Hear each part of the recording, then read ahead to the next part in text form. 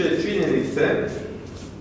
da zbog prosvjeda radnika čistoće, kao što znate danas ulazimo u e, treći dan, se otpad još uvijek e, ne odvozi, bojimo se da nam tek slijedi kulminacija čitavoga problema, odnosno količina otpada u gradu Zagrebu. Grad Zagreb uistinu ide e, i opasno se približava jednome napustskome scenariju, kako je to sve već u medijima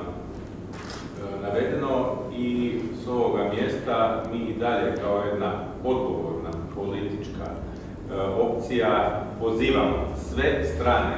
u ovome e, socijalnom sukobu na smirivanje strasti i na jedan socijalni dijalog kako bi što prije grad Zagreb bio čist grad i kako bi što prije otpad ulica grada Zagreba se maknuo i otišao tamo gdje mu je mjesto. E, Tomislav Tomasović se ne mora bojati, e, Zagrebački HDZ, a ni naši koalicijski partneri HSLS ne planira ležati po cesti kao što bi to sigurno on radio prije samo tri godine da se ovakav e, problem događa. Ne pada nam na pamet poticati ljude da izlaze na ulice i da dodatno kompliciramo ovaj problem Dakle, nama u interesu kao i svim građanima grada Zagreba da se ovaj problem što prije riješi.